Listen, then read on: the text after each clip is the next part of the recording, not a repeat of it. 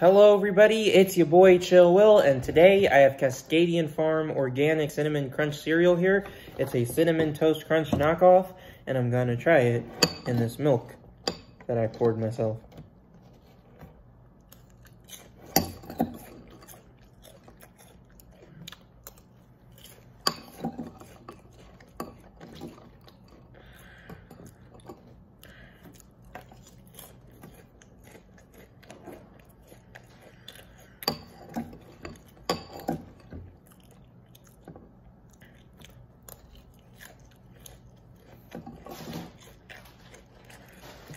Does have that crunch flavor, but you can definitely tell it's aping Cinnamon Toast Crunch.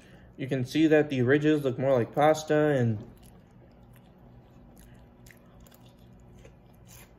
the taste is a bit derivative, but I actually do kind of like it.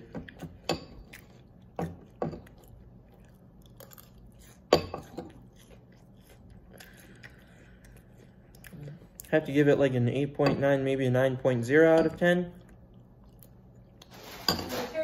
easier. I'll be my reviewing.